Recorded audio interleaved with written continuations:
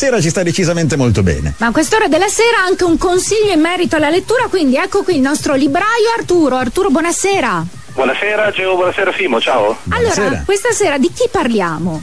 Allora, stasera vi parlo di un libro che si intitola Rebels, eh, David Bowie in sei ritratti d'autore edito dalla nave Wow. di Teseo. Un libro molto interessante perché ci sono sei autori che raccontano il, il loro David Bowie, chi l'ha amato, chi ci ha lavorato, chi è stato semplicemente fan.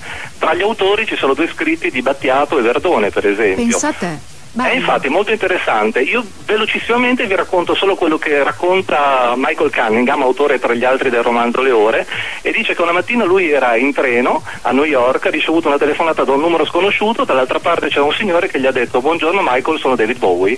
E lui da fan ovviamente ha fatto un salto e David Bowie voleva accordarsi con lui per scrivere insieme un musical. Quindi veramente consiglio vivamente la lettura di questo libro perché ci dà modo di scoprire David Bowie insomma sotto altri aspetti. Un grandissimo, un genio che ci manca di giorno in giorno. Quindi È grazie vero, mille. Per tutto Grazie il resto, la pagina tua Facebook Semina Libro. Grazie Arturo. Grazie a voi. torniamo